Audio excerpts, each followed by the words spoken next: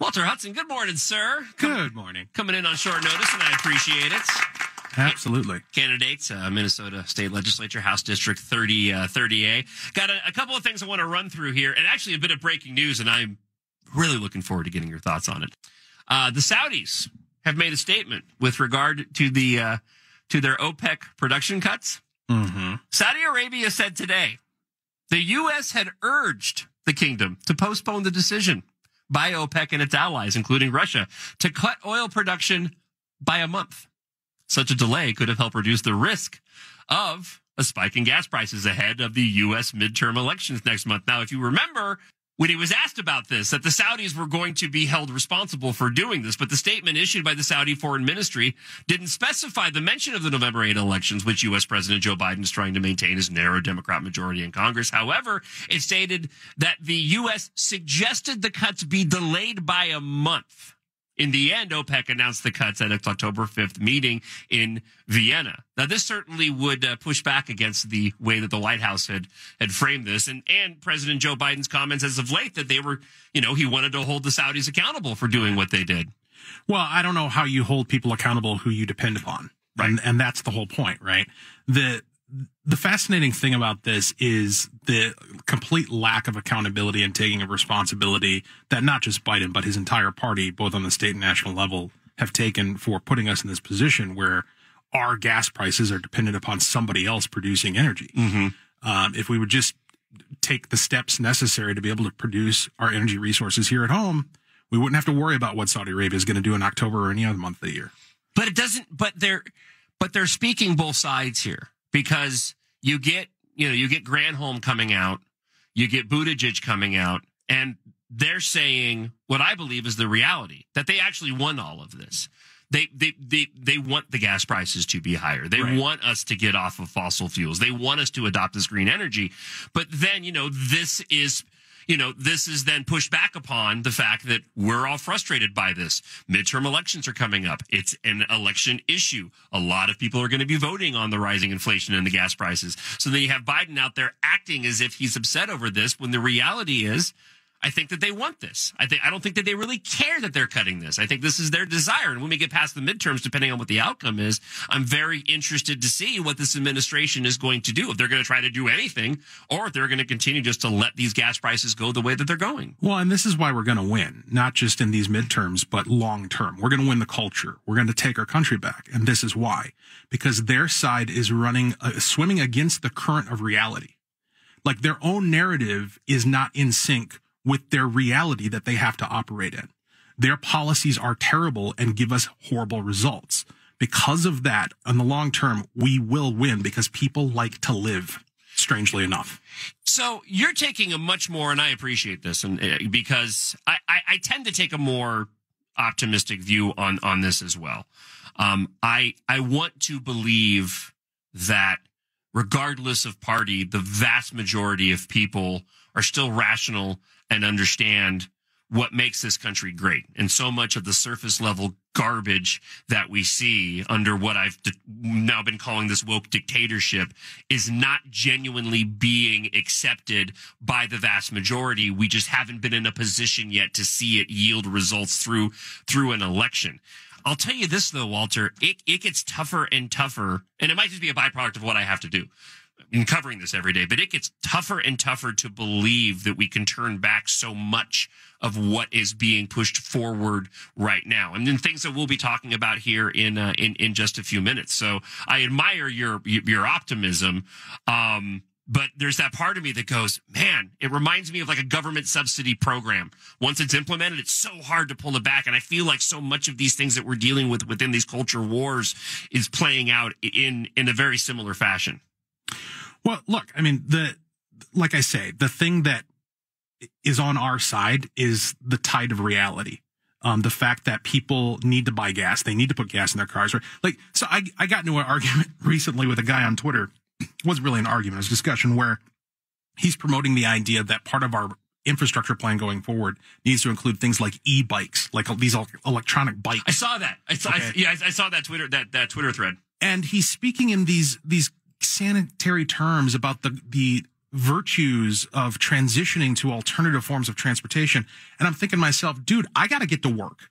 Uh, my, my work is 10 miles Yeah. away from my residence and that it's going to stay there, right? I'm not going to change my job so that I can get an e-bike and save the planet. That's, that is not my priority. My Right. priority is to make the money I make in order to feed my family and pay my mortgage. And such, so it is with literally everyone, even the Democrats, even the, we saw this with the Martha's Vineyard effect, right? Even the looniest lefties who are out there virtue signaling with their lawn signs, when confronted with the reality of what they're saying, the migrant on their lawn Mm-hmm. has to acknowledge that their ideas do not work. And that, that is why we will win. Because all we have to do is, in, in a sense, we're doing what God does, which is letting the sinner have what he wants. And then living with the consequences and, Yeah. and hopefully repenting and coming Yeah. around. Amen to that. We'll talk more with uh, Walter Hudson coming up here on Twin Cities News Talk. Phone lines are open 651 989 5855. I like the breath of fresh air in here. Uh, leave a talk back via the iHeartRadio app. We'll get into uh, a couple of different stories. Actually, the Star Tribune picked up on this this morning. The version I have here is uh, from MinnPost. Will the Iron Range finally go red? Control of the legislature could hinge on seven seats in northeastern uh, Minnesota. I believe you're heading up that direction uh, Yep. pretty pretty soon. And again, uh, the Star Tribune picked up on it uh, uh, this morning as well. Uh, victories on and around the Iron Range. This comes from MinnPost. Have largely eluded the GOP thanks to union support and uh, veteran political giants like Tom Bakk and uh, David uh, Tomassoni. I'm saying I'm pronouncing that right? Yep. Okay, good. Uh, still, GOP legislative uh, hopefuls need to uh, only to look to the strong showings, according to MinnPost, of Donald Trump and U.S. Representative Pete Stauber uh, to know the region is truly up for grabs.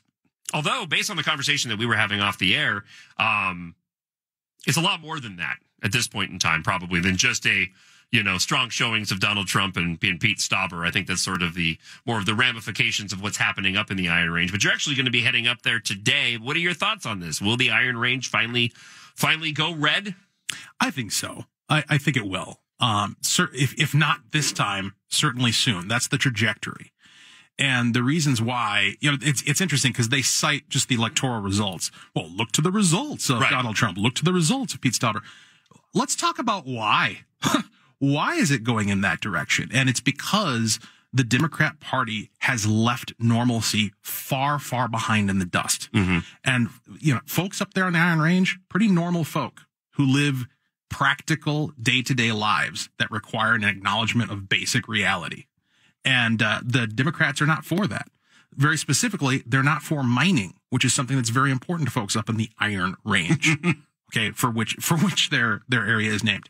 Uh, there are rare earth min- minerals up there that we need in order to power all of the fancy devices that the uh, yuppies down here in the Twin Cities demand as consumers, but won't allow us to produce the materials for here in the state of Minnesota. And it's costing jobs for folks up there on the Iron Range.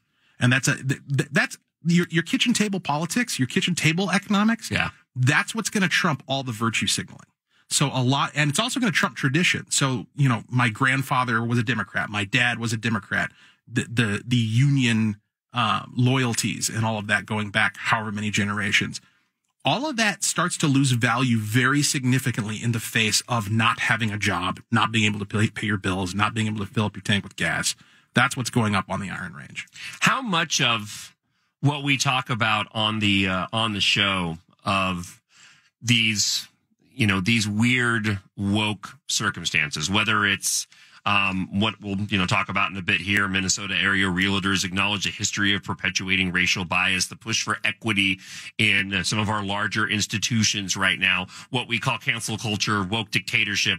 How much of that is reaching the individuals uh, in the Iron Range and and potentially impacting uh, their uh, their their voting decisions as well?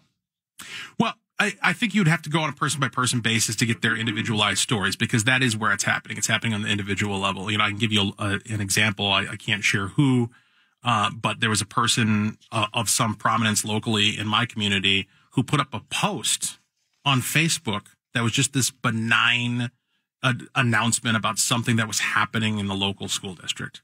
You know, just kids doing something nice. And the comment section turned ugly extremely quick because somebody had to bring LGBT inclusion into it. Well, I, mm-hmm. I hope there's going to be LGBT inclusion in this event that you're talking about.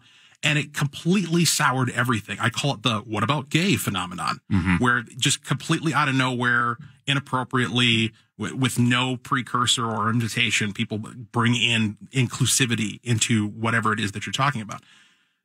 The person ended up deleting the post, the, the original poster, a post that was about recruiting people to participate in something nice at school because they couldn't take the backlash that they were receiving. That that the stories like that are happening all over the place, all over Minnesota and all over the country, and they're taking people who used to be on the fence and turning them into conservatives.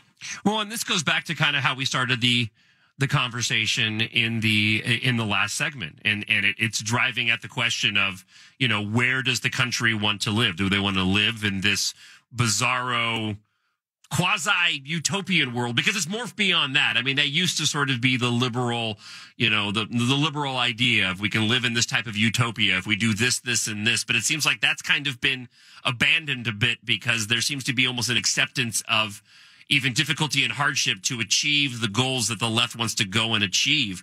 Do people want to go and live, you know, in that world? Do they want to live in, in a, in a more realistic world that they are used to seeing? Uh, and it's, it's analogous to when I talk about school choice. I think that that's where the next fight needs to, needs to take place. And that is school choice. Allow parents the choice to decide. Do they want their kid to go to a traditional doing that thing with my finger school where a teacher just wants to teach the basics? They look like a typical teacher does. They have the sporting events and the holidays like they normally do, or they want to go to a school that is going all in on inclusion and is going to have, you know, your drag queen story hours. There are, is going to change homecoming that is going to have a teacher that has multicolored hair that is going to push the pronouns uh, upon them. You know, which, which world do they want to live in? And I really hope that you're correct. And I believe that this will be the reality in the midterm election that the majority of people in the country want to live in that other world that that that we're so used to living in and not this bizarro one that a Well- group on the left are trying to create. It's not even a question of what they want. It's a question of what is. It, you do live in the real world. I hate to break it to you. yeah. Th- this is how it works. Doesn't feel that way a lot of the time. Cars run on gas. Food costs money. right. You know, rare earth minerals come out of the ground and you got to dig to get to them. These are all real things that are not going to change. They are immutable. And so the only choice is whether or not we're going to take action and craft policy that is in sync with reality or whether or not we're going to continue to veer off into this ridiculous fiction that the Democrats are all for. The, uh, the contrast here the choice that we have in this election and going forward until the Democrats have some sort of reformation where they become normal again, uh, the choice is between prioritizing theory and intentions over reality and results. Look at the Feeding Our Future scam. Okay, there there are people when I go out and I talk and I engage online, in particular, on the Feeding Our Future scandal. There are people who are mad at me for pointing out the fact that two hundred and fifty million dollars was fraudulently misappropriated under the Walz administration with this Feeding Our Future scandal. They're mad at me because why? Because what are you going to do about the hungry kids? What what does that tell you? It tells you that the thing they care about is what was the intention, Right. And what was the theory, Right. Theoretically, we're feeding children. The intention of the program is to feed children. Never mind the results. Don't look behind the curtain. None of that matters. All that matters is our feelings and what we hoped for, and the utopia, as you put it at at a certain point that becomes personal to people like when when they can't put gas in their tank when they can't put food on mm-hmm. their table when they're having trouble paying their mortgage and i talk to these people it's a wonderful thing about being a candidate it's it, as an introvert it forces me to actually talk to human beings all right and this is what where people are at. They're concerned about their day-to-day lives. And the Democrats have no value proposition to offer whatsoever in regards to that, other than, hey, if you do what we say, we won't call you a racist. Yeah, putting uh we can move on to another issue here, but putting another sort of a period on the on the Iron Range conversation. In the story here, it says the DFL's winning streak in, for legislative seat, uh, seats on the Central Iron Range is intact, but GOP came close to ousting a few DFLers around the region in 2020. Uh, certainly not the landscape that we're living in now. It appears the landscape is even better for the GOP. Yeah. Overall in the state, uh, and I think the last time we uh, we had you on uh, a month or so ago, we talked about this. But I'll I'll ask you again. Like overall with these upcoming elections, what is your what is your expectation? How well do you think? I mean, it's tough. I mean, you we you know better than I do. Mm-hmm. You know, you've been here longer, but just you know how much of a stranglehold the DFL has had on the state for so long. How well do you think the GOP is actually going to perform? Well, I mean, there's really good signs. I mean, we've never had a better environment nationally or in the state um, for for Republicans, and all the indications seem to be that the wind is at our backs. The trajectory is going in our direction. I mean, you've got you look at the trajectory of polling. Uh, even even looking at Jensen, you know, the, the big question mark is those statewide races, right? Like, are we going to have Scott Jensen as governor? Right. And the possibility is real. It really does seem like it's a very strong possibility that it could happen. It's all going to come down to turnout, which is why it's important for people to get out and to encourage their neighbors to get out and Yeah. vote. Uh, it's going to come down to turnout and it's going to come down to shenanigans, right? Those are the two things. And, uh, those are the unpredictable variables. Um, but I feel good about it because we're, we're at a point where folks are hungry for a change. I mean, the, the, the passion that people have uh, to stop what they see happening, the fraud, the the the woke inquisition that's ongoing, um, and to get back to a sense of normalcy and decency and hope, pride, like being able to feel good about yourself, being Yeah. able to feel good about the state that you live in. People want that, and they're one vote away from making it happen. Well, and so much of what we're dealing with right now for you know a myriad of different reasons is a byproduct of the of the pandemic. Um and I don't even think we're going to see you know every single aspect of the impact the pandemic had upon society until we even get further down the road. But I think a lot of what we're dealing with with these woke issues um, is a direct result of the pandemic and just what it did to people on a on a personal, you know, on a personal level. But to to your point about the opportunities, when I think everybody was waiting to get out of it, we all were waiting to get out from under the pandemic, and then suddenly once we did, what were we faced with? Suddenly we were faced with hardships that arguably were not for everybody. I think it's you know it's it's relative to individuals, but hardships that were more difficult than when we were under the pandemic. You know, and certainly more difficult than there was when Trump was in office. Mhm. Um, you know, so we it's like people haven't had a break. Like we went from one thing in the pandemic to finally coming out of it and feeling like, hey, we're free and we're out in the world right now. But oh my gosh, the world suddenly became a heck of a lot more dangerous. It became a heck of a lot more expensive. And suddenly now we're faced with all these issues that we weren't even talking about before. I think people are are fatigued. Well, and the the fatigue, it's it's a self-inflicted wound, right? Like what we're going through right now with inflation and gas prices and me Biden having to to oscillate from begging Saudi Arabia to threatening Saudi Arabia over their production of oil. I mean, all of this insanity is self-inflicted. None of this had to be. None of it was written in the stars. It was a choice that was made by the people that we put in charge. And so that people are waking up to that and realizing that this election is an opportunity to reverse course. And I think the thing that people are specifically fatigued about is being told what to do, mm-hmm. being told what to do, being told what to think, being told that they're wrong, being told that they're, they're, there's something r- evil about them or wrong with them because they hold the values that they hold. Whether you're talking going back to like the shutdowns and the mask mandates or this woke stuff, you know, the idea that if you believe, as I do, that your kid ought to be able to get through K through 12 without being confronted with all the different varieties of sexual proclivity, okay? Like if, if that's your position, there's something fundamentally wrong with you according to the left and according to many of the institutions, including potentially your own school district. Yeah. Right. Um, folks are sick of that. And there's only one way they're going to be able to push back against it. And that's by uh, uh, empowering us to return the control back to them. A Minneapolis uh, organization representing more than 9,000 realtors publicly announced Wednesday for a uh, publicly, excuse me, apologized Wednesday for a history of discriminating against people of color and creating barriers that made it difficult for them to own homes. Along with reading the apology at a news conference, the Minneapolis Area uh, Realtors Association also announced policy changes to help prevent further uh, discrimination. Uh, basically, it's equity. It's your DE. It's your DEI Right. um, being implemented now on within here. The realtors. We have the story of the medical students condemn, condemning gender binary colonialism, praising uh, Indian medicine, and this oath they had to take. Equity was in, included in that. Where do you see in the time that we have left? Where do you see this issue of equity as it takes hold in certain institutions?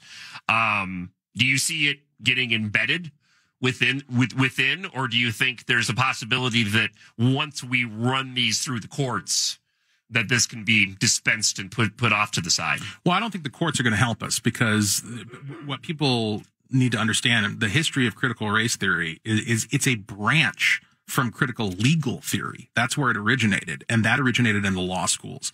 So all of these judges um, and, and these these folks who are appointed to the bench over the course of the past 40, 50 years or so have all been brought up to believe that Lady Justice should have her blindfold lifted and that she should take into consideration the appearance and personal background of the person in front of them rather than what they did or what the facts of any given case are. The judges are not going to save us. This is going to be a political battle.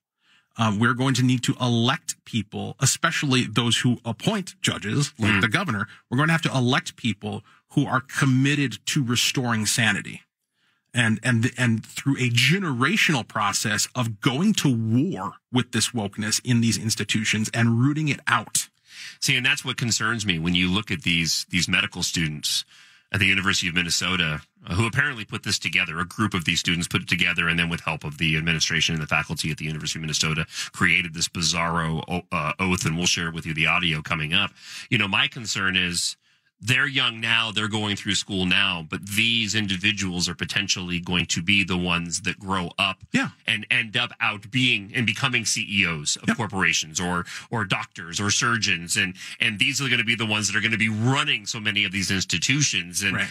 what are we doing to them now and where are they going to be once they once once they get their degrees and they're out in the real world Well, and that's why we, it's it's we cannot tread lightly. Okay, and this I'm, I'm speaking now to my my co- my would be colleagues in the legislature, um, current members, candidates who are going to win.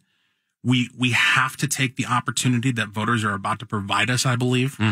And we need to run as far as we possibly can with it. We need to put the pedal to the metal because we do not have time to allow this wokeness to calcify in these institutions. We have to provide people with the ability through the power of their individual choice to be able to walk away from, reject, and defund this nonsense.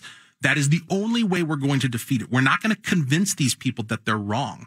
They have abandoned their faculty of reason. They Right. don't have Right. it. They can't be reasoned with. They have chosen insanity. That's what they, they have adopted it as a means of cognition, being crazy. That's what they're for. So you're not going to reason with them. You have to defeat them. And you're going to do it two ways. You're going to defeat them politically by voting against them. And you're going to defeat them economically by taking your money somewhere else. And our job as legislators is to provide the mechanisms through which people can do that economic voting. where can people find out about uh, uh, your uh, your campaign there HudsonForMN.com. I know you got to hit the road. Thank you so much for uh, coming in studio on short notice, man. I really do appreciate it, and we'll uh, we'll get you back on again real soon. Really enjoy the conversation. Looking forward to it. Thank you.